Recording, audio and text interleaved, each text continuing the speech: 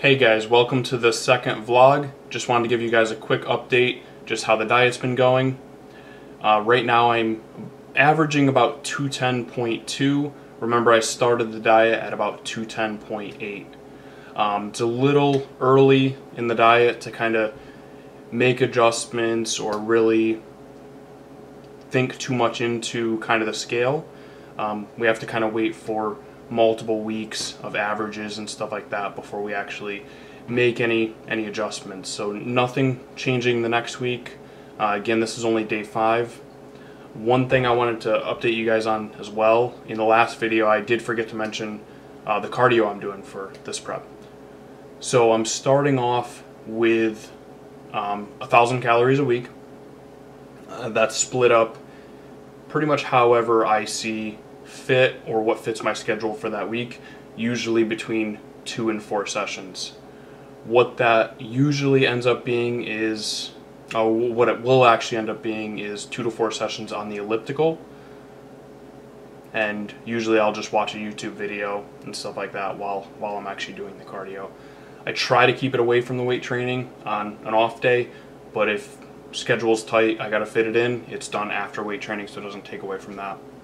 Um, that's pretty much it for the update. I have some training footage for you guys. It's just my uh, lower body session this week. It's normally my lower body hypertrophy session, uh, so a little bit more volume, a little higher rep range. Normally I would squat on this session, but uh, not too long ago I had some issues with my left adductor. So you'll see in this workout I actually did uh, goblet squats, just kind of get a feel for it. So thanks for watching. Okay, thanks for tuning in.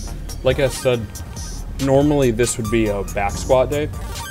I normally do about three sets of anywhere between five to eight repetitions. Last week, however, I didn't injure, but kind of tweaked my left adductor a little bit. So this week I was just playing it safe, wanted to try out some goblet squats. Um, so that first set was 70 pounds just slowly working my way up. Did about 10 reps. Here's 85 pounds for another 10 reps. Um, and this is the first time I'm actually squatting in flat shoes too. For the last few years, I've always squatted in a heeled Olympic lifting shoe. I'm going to try actually doing my back squats that way as well, just to kind of see how it feels. Maybe just switch it up a little bit trying to determine kind of which one feels better for me. Uh, here's actually 100 pounds, and this I just did 15. I was planning on only doing 10, but when I got to 10, felt good enough to go to 15. Um, next week, I'll actually go back to the back squat. I'm gonna stick with the flat soled shoes, see how they feel.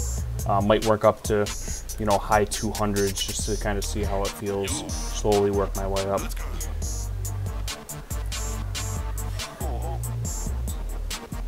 And here you'll see the hip thrust. I'm still not doing a ton of weight on these. This is only 255 pounds. I did three sets of six. These have helped my hip a ton. I would highly recommend for anyone that has trouble getting their glutes activated, definitely take advantage of that. Uh, and here we're on to just regular leg extensions. Uh, nothing fancy here, just three sets of 10, uh, 140 pounds.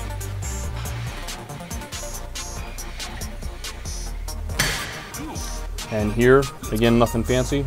Uh, lying leg curls, did 155 pounds for three sets of 10. And after this, I did do a little bit of ab work and seated calf raises. I didn't actually get it recorded, uh, but I did end up doing those. And that's it. Thank you for watching.